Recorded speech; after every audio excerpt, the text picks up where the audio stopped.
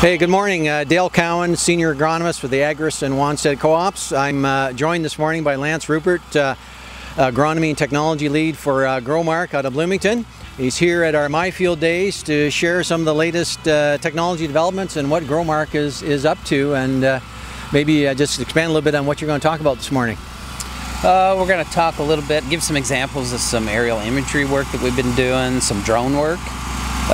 one of the interesting ones we're working with is an autonomous drone, so it flies itself and lands itself and then transfers data in a 4x4 box out in the field. Uh, and then sensors out in the field specifically uh, working with specialty crops on disease modeling and uh, growing uh, growth development modeling. Okay. Now I believe you were doing some work with the Telenair as well. Uh, and can you expand a little bit on how that is, uh, what kind of is the structure behind that?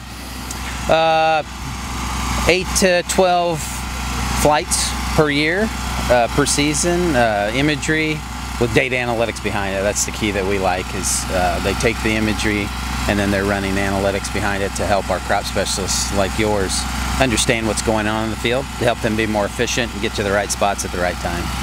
Okay, so uh, Growmark's pretty heavily invested in some uh, venture capitalists. Can you talk a little bit about uh, some of the ad investment and just to what extent it's being invested and what some of the uh, I guess the projection goals might be of some of this technology? Sure. So we're an, limited partner with Cultivian Sandbox, a venture capital firm in Chicago. Uh, we've, uh, I guess, pledged $10 million in a $150 million fund. So they're looking for startup type companies, things that are up and coming to invest in. Hopefully, get a good, uh, almost 10x return is what they shoot for on those investments. So it's it's a long-term investment play, but it also gives us good access to information of what's coming.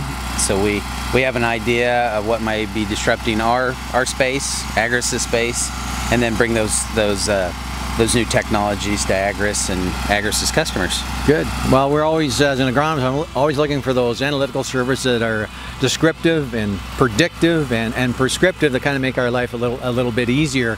So I, I think just back to IntelinAir a bit, that's kind of what they're what they're kind of featuring as they send alerts when there's something worth seeing of note. Correct. Yeah. Yeah, and that, that's really helpful. I mean, to me, it, uh, technology's got to help our our growers and our people, our crop specialists, your people, be more efficient with their time. Uh, instead of just kind of aimlessly looking for issues, hopefully remote sensing imagery can help tell us where to go. Uh, even in the back corner of that field that we don't normally maybe don't walk normally to. Make, make, get back that so far make, sometimes. make us better at what we do for yeah, the grower. Good. Yes.